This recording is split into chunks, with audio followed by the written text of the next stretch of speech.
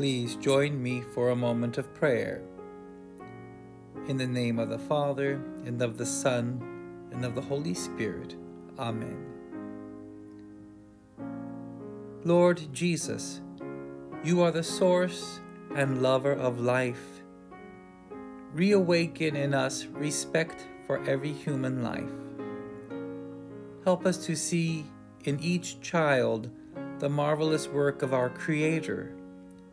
Open our hearts to welcome every child as a unique and wonderful gift. Guide the work of doctors, nurses, and midwives May the life of a mother and her baby in the womb be equally cherished and respected. Help those who make our laws to uphold the uniqueness and sacredness of every human life, from the first moment of conception to natural death. Give us wisdom and generosity to build a society that cares for all. Together with Mary, your mother, in whose womb you took on our human nature, help us to choose life in every decision we take.